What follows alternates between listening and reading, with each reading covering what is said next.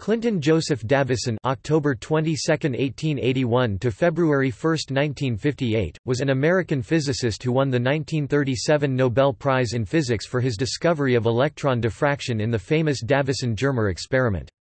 Davisson shared the Nobel Prize with George Paget Thomson, who independently discovered electron diffraction at about the same time as Davisson.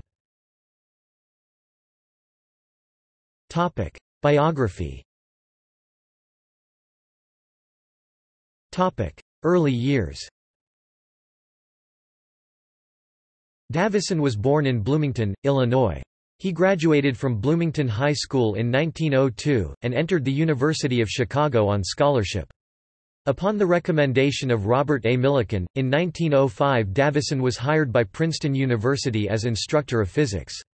He completed the requirements for his B.S. degree from Chicago in 1908, mainly by working in the summers.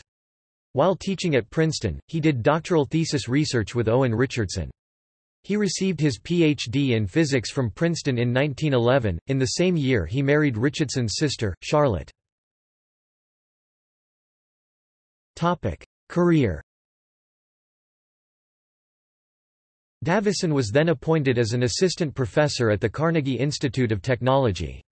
In 1917 he took a leave from the Carnegie Institute to do war-related research with the engineering department of the Western Electric Company later Bell Telephone Laboratories.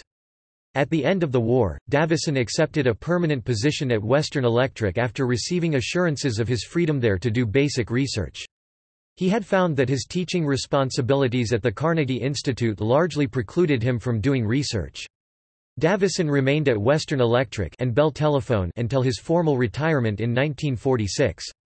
He then accepted a research professor appointment at the University of Virginia that continued until his second retirement in 1954. Electron diffraction and the Davisson-Germer experiment diffraction is a characteristic effect when a wave is incident upon an aperture or a grating, and is closely associated with the meaning of wave motion itself. In the 19th century, diffraction was well established for light and for ripples on the surfaces of fluids. In 1927, while working for Bell Labs, Davisson and Lester Germer performed an experiment showing that electrons were diffracted at the surface of a crystal of nickel. This celebrated Davisson-Germer experiment confirmed the de Broglie hypothesis that particles of matter have a wave-like nature, which is a central tenet of quantum mechanics.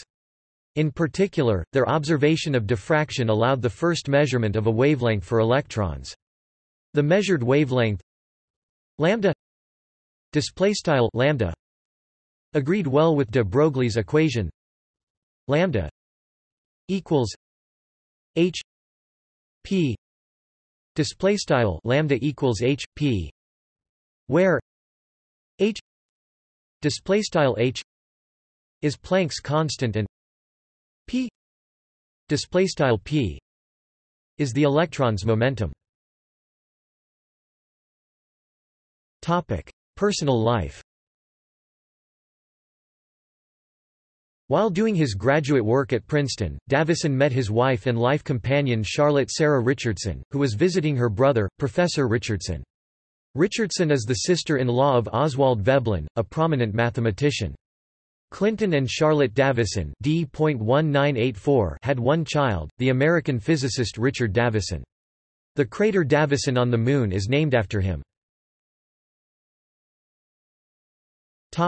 Death and legacy Davisson died on February 1, 1958, at the age of 76. An impact crater on the far side of the Moon was named after Davisson in 1970 by the IAU. Topic. See also Nobel Prize. Org biography Topic. References Topic. External links Bloomington native won Nobel Prize in Physics – Pantagraph Bloomington, Illinois newspaper